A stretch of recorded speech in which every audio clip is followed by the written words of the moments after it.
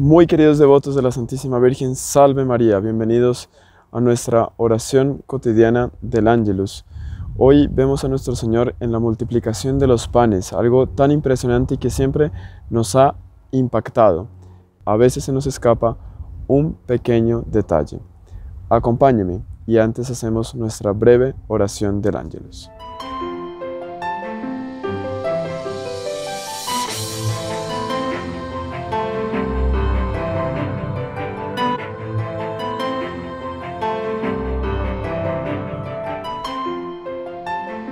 En el nombre del Padre, y del Hijo, y del Espíritu Santo. Amén. El ángel del Señor anunció a María, y ella concibió por obra y gracia del Espíritu Santo. Dios te salve María, llena eres de gracia, el Señor es contigo. Bendita tú eres entre todas las mujeres, y bendito es el fruto de tu vientre Jesús. Santa María, Madre de Dios, ruega por nosotros pecadores, ahora y en la hora de nuestra muerte. Amén. He aquí la esclava del Señor, hágase en mí según tu palabra.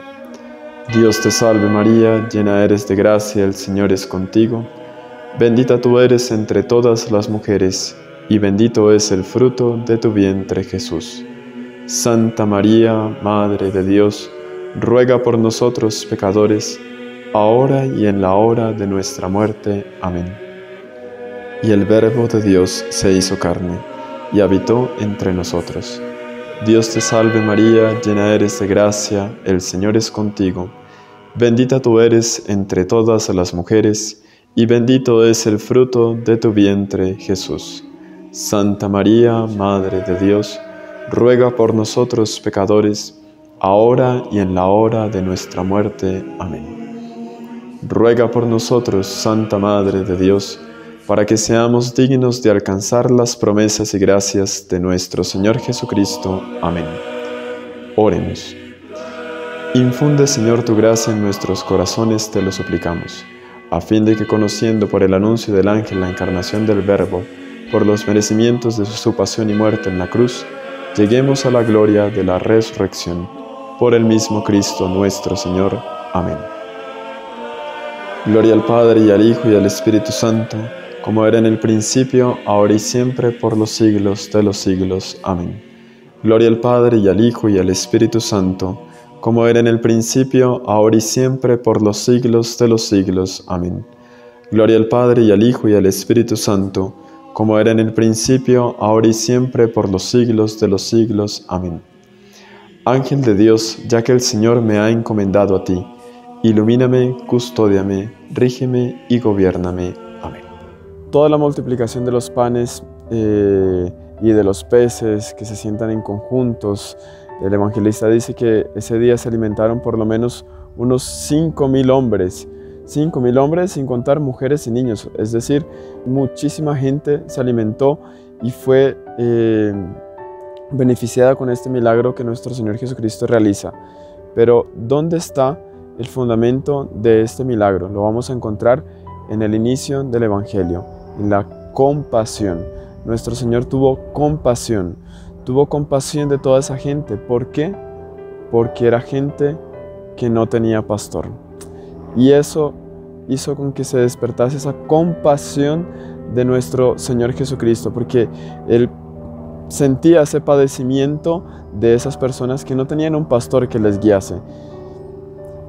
Y empezó a instruirlos, solo que los instruía de tal manera que arrebataba a las personas. Las arrebató tanto que todo el mundo se olvidó que tenía que llevar con qué comer y estaban despoblado y ya era tarde, no, no, no iban a conseguir dónde comprar alimento para tantas personas, ni había con qué. ¿Por qué? Porque nuestro Señor empezó a darse enteramente, a dar de sí para alimentar espiritualmente aquellas ovejas que no tenían pastor. Entonces es importante que nosotros dirijamos en muchas ocasiones nuestras oraciones pidiendo que haya pastores que constantemente estén ejerciendo como lo hace nuestro Señor Jesucristo, alimentando de una manera espiritual a sus ovejas, que las vaya elevando de tal manera que sus ovejas como que no sufran, no se encierren simplemente en las cosas materiales, sino que suban a las eternas. Nuestro Señor los tenía en la punta de la silla, por decirlo así, con su predicación y hizo que ellos se olvidasen del hambre que estaban teniendo. Y él mismo, como él lo dice, lo demás será dado por añadidura. Él les hizo el milagro y les dio el pan. Entonces recemos, recemos, pidamos para que hayan esos pastores que eleven las vistas de las ovejas y pongan la mente de ellas en las cosas más sobrenaturales. Recordemos lo que decía Don Chotag en su libro El alma de todo apostolado. Para un sacerdote santo corresponde un pueblo fervoroso. Para un sacerdote fervoroso corresponde un pueblo piadoso. Para un sacerdote piadoso corresponde un pueblo honrado. Y para un sacerdote honrado, un pueblo incrédulo. Ni hablar, si bajásemos un poquito más, ni imaginar. Esto lo decía él. Entonces pidamos ese ardor apostólico en los pastores para ayudar a que las ovejas eleven sus vistas a las cosas sobrenaturales. El Señor esté con ustedes.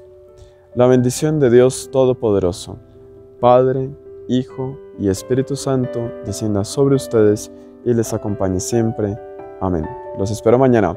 Salve María. Si no te quieres perder ninguno de nuestros videos, suscríbete a nuestro canal, activa la campanita y no te olvides de compartirlos con tus conocidos.